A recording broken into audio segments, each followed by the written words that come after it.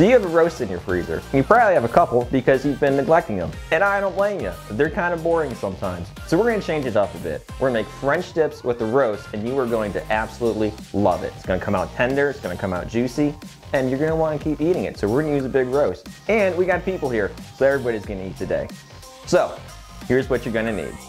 One large wild game roast, figure about a pound and a half per two people, and if that roast has more than one muscle group in it, it's fine. It's to be cooked low and slow. It'll be tender, trust me. You'll need two types of cheeses. The first is to be Havarti, figure one quarter pound per two people. The second cheese at the same ratio is provolone, and if you can, get it from a locally owned deli, because small business is good business. Two to three cups of stock, and I know, it's so much better when you make it yourself, but I've been a firefighter for my entire adult life. I'm not down with burning bones. Stock additive, and the cubes are fine, but this is going to be for the au jus sauce, and if you're going to use liquid, I like adding the liquid. Three cloves of garlic, even if one is camera shy. One white onion per two people you're cooking for. A stick of salted butter, one shaker steak seasoning, and Montreal's fine, but again, I like using local businesses, and I checked, these guys don't have an online website to buy from. But if you live within an hour of the Northeast Ohio region, go here. It's worth it.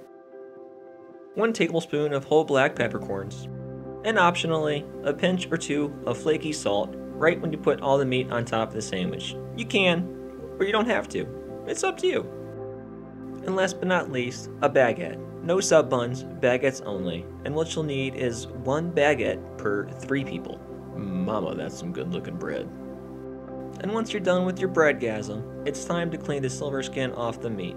And you can do this during the butchering process, but I leave it on because it helps protect it against freezer burn. So that fat and that silver skin, it's time to cut it off.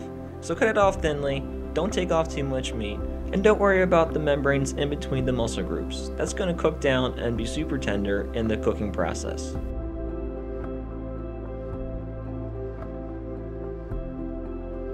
Once you've cleaned the whole surface area of the silver skin and the fat, then you can chop off the ends. And not too much, you're just trying to make it a little bit more even throughout the entire piece of meat.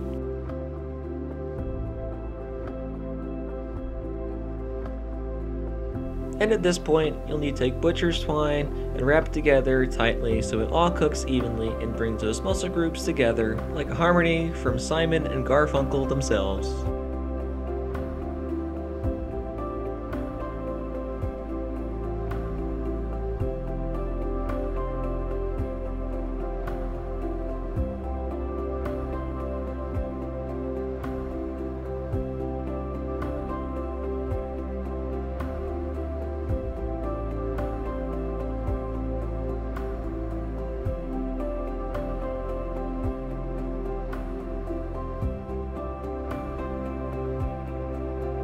And at this point, grab the shaker steak seasoning and shake it like a Polaroid and give it a very generous coating because this is the only seasoning that's going on the roast itself.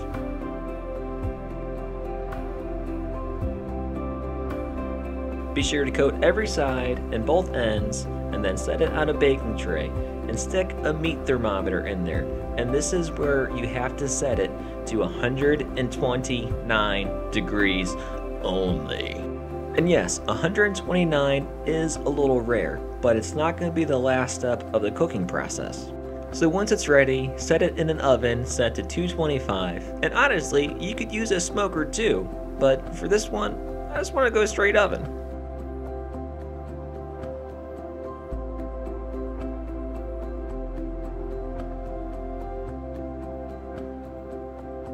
Now that the meat has started its low and slow process, cut your onion right down the center and then give it slices just thick enough to where you can see the knife in between each slice. Then add the onion to a skillet that's been heated to medium heat and then give it a shower of olive oil. Toss in 2 tablespoons of butter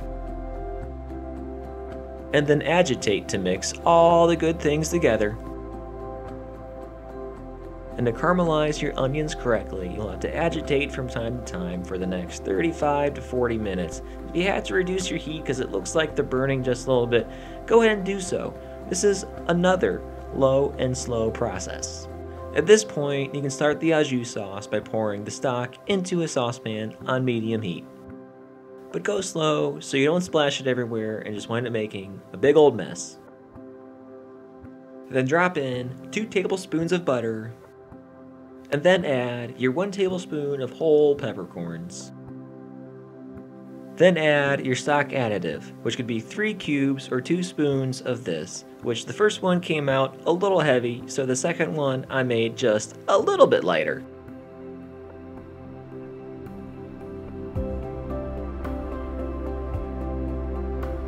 And then add your garlic cloves, and once it starts to boil on the sides, reduce to low heat and let it simmer for the entire time that your roast is cooking.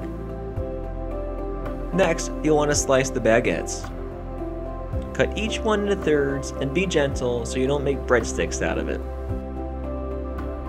And if you want to be as particular as I am, find out which side looks best, find a good angle to where the meat won't fall out of the sandwich, and then slice gently. But don't slice all the way through, leave just enough so you can open it slowly so you don't break the crust, and you have a nice apparatus to bring all the good meat and cheese right into your mouth. And then repeat until all your bread dreams are satisfied. And then on a heated griddle, spread some butter and take a moment to look at your caramelized onions because those look just perfect. Then place the baguette open side down and place something on top of it, maybe one or two pounds so you don't smash it, because this will expose as much surface area as possible of the bread to the butter to give it a nice sear. And then after one to two minutes, check the bread, be sure it didn't burn, should look like this, maybe a little bit more covered, but that's okay. And then remove, and then repeat and once the roast is 129 degrees, remove from the oven and let it rest for about 10 minutes. And while it's resting, heat up a cast iron to a high heat and then add some bacon grease. And if you don't have that lying around, that's fine. A high smoke point oil is fine too. And then add the roast and sear it on each side, and it should sound like this.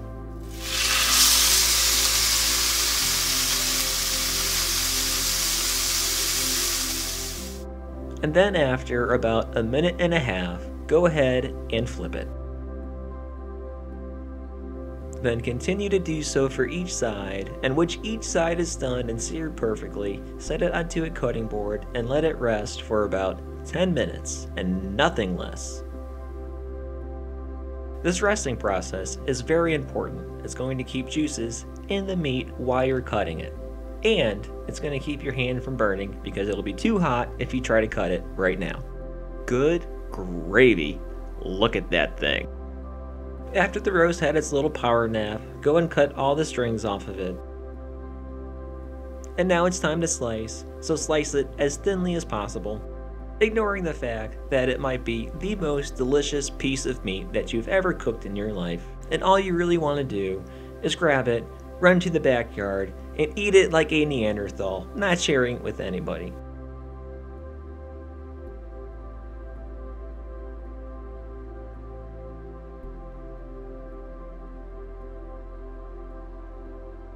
And once it's all sliced, it's finally time to conform the apparatus to bring all this goodness straight into your mouth. So stack the meat, but don't make it all flat. You want it to be a little bouncy so it gives you good texture and good flavor profile of every single part of the sandwich.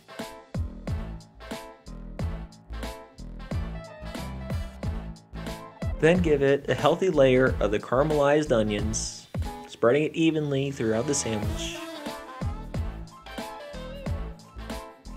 And then add the cheese, starting with the Havarti, because it's a softer cheese and it'll melt quicker than the provolone. And to melt the cheese, you can stick it in the oven on a broil, but I don't recommend that because it's going to add too much heat to the meat and it might make the sandwich a little hard. So grab a torch and burn that mama jama. But not actually like burn it, just give it like a, a good sear. Make the cheese boil, make it melt, and then give it a good char,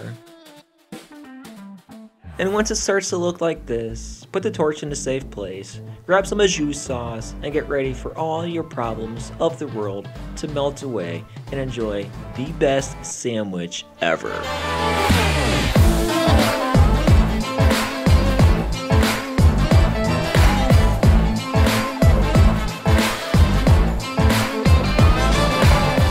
After this many hours, which really wasn't that long, we're finally to the point where we can actually eat our food. And this is absolutely delicious. We have butter seared bread. The meat came out perfectly. The glaze over the cheese is just absolutely awesome. I cannot wait to bite into this.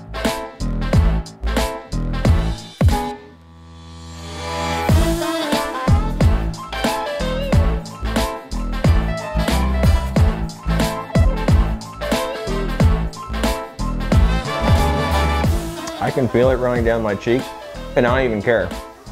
This is tender, it is savory.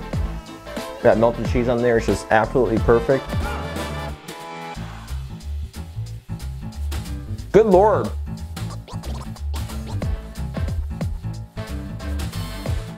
Absolutely.